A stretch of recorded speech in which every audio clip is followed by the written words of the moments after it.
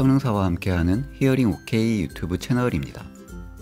보청기는 일단 귀에서 빼내면 보청기 전용 케이스에 보관하셔야 하는데요. 분실의 위험을 줄이기 위해서도 그렇지만 위생상의 문제나 성능 유지를 위해서도 전용 케이스에 보관하는 습관을 가지는 것이 좋습니다. 또한 하루 종일 보청기를 착용하면 보청기 외부 또는 내부의 부품들이 습기를 머금을 수밖에 없는데요. 따라서 주무실 때는 보청기의 제습을 위해 반드시 보청기 전용 습기 제거제와 함께 보관해 주셔야 합니다. 특히 보청기 부품 중 습기로 인해 고장이 잘 발생할 수 있는 것이 스피커와 같은 역할을 하는 리시버인데요.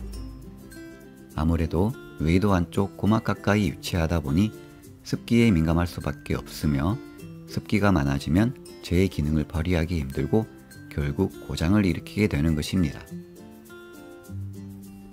보청기 전용 습기 제거제도 제조사마다 보관하는 용기의 모양은 다를 수 있지만 그 성분은 우리가 흔히 접하는 실리카겔처럼 제습 효과가 있는 재료로 이루어져 있습니다.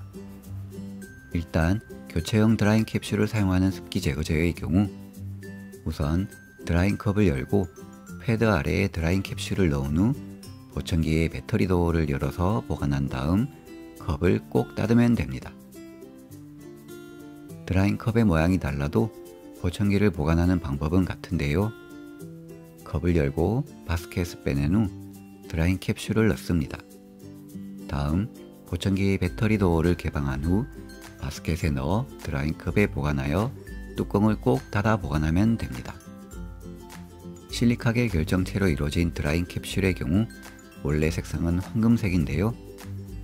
드라잉 컵에 넣어 사용하다 보면 황금색에서 흰색에 가깝게 투명해지며 이때 새 캡슐로 교체를 하시면 됩니다. 캡슐 형태가 아니고 알갱이로 이루어진 습기 제거제의 경우도 보관 방법은 같은데요. 드라잉컵의 뚜껑을 열어 패드 위에 보청기를 보관한 후 뚜껑을 꼭 닫아서 사용하면 됩니다. 드라잉컵의 패드 아래에는 미색, 백색, 청색 이렇게 세 가지 색상의 알갱이가 있는데요. 습기 제거제를 사용한 지 3, 4개월 정도 지나면 백색, 미색 알갱이의 색상은 변화가 없지만 청색 알갱이의 색상은 분홍색에 가깝게 투명해집니다. 이때는 알갱이 전부를 전자레인지용 용기에 넣어서 실리카겔의 색상이 청색으로 돌아올 때까지 2, 3분 정도 가열합니다. 그 후 청색으로 돌아온 실리카겔을 포함한 나머지 알갱이들의 열기가 식을 때까지 기다렸다가 다시 드라잉컵에 넣어서 재사용하시면 됩니다. 개인적으로는 이 방식보다는 교체형 드라잉 캡슐을 이용해서 습기 제거하는 방식을 추천하는데요.